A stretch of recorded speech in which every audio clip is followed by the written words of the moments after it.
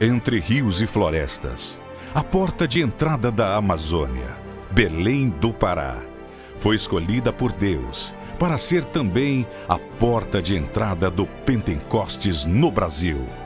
E o berço da Assembleia de Deus, a Igreja Centenária.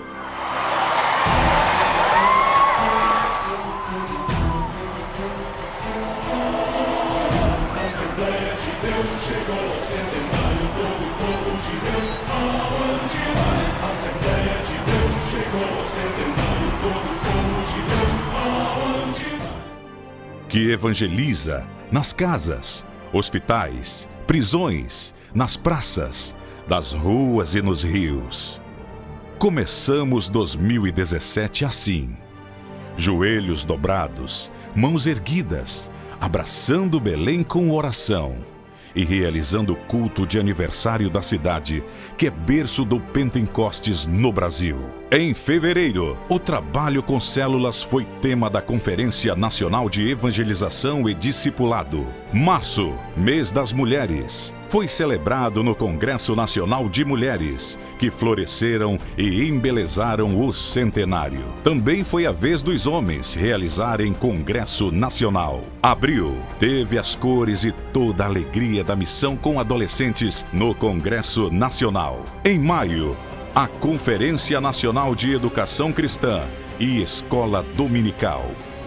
Em junho, celebração dos 106 anos da Assembleia de Deus, servindo a Deus e ao próximo com alegria, no centenário Centro de Convenções, que contou também com culto de chegada dos missionários Daniel Berg e Gunnar Vingre, reunindo multidões que tomou conta do Centro Histórico de Belém do Pará casamento comunitário para centenas de casais, reconhecimento e homenagens na Câmara Municipal de Belém e na Assembleia Legislativa do Pará. Em julho, inauguração do primeiro posto para coleta de leite materno da missão Mais Puro Leite. A criançada fez a festa durante a Escola Bíblica de Férias e Congresso Nacional de Crianças. Em agosto, a igreja que é fruto de missões realizou a Conferência Nacional de Missões Nacionais e Estrangeiras.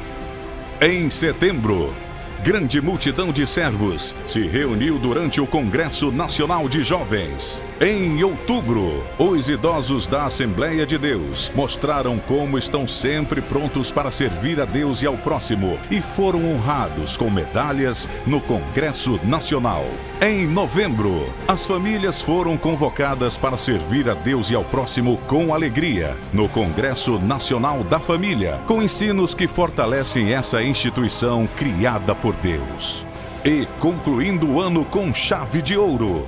No dia 31 de outubro de 2017, quando a reforma protestante completou 500 anos, nasceu a CABB. Convenção da Assembleia de Deus no Brasil. Propósitos da CADB. 1. Um, reviver e continuar a história, alicerçada na Bíblia e nos princípios e valores da Assembleia de Deus. 2. Ser um fórum fraterno e voluntário de reflexão, estratégias e cooperação, priorizando a evangelização e missões no Brasil e até os confins da terra, respeitando o papel e missão da Igreja. 3. Congregar, congraçar ministros e promover o ministério cristão, sem distinção da vocação e chamada divina de homens e de mulheres. 4 promover a responsabilidade social da Igreja, especialmente nas áreas da educação, cultura e comunicação. 5.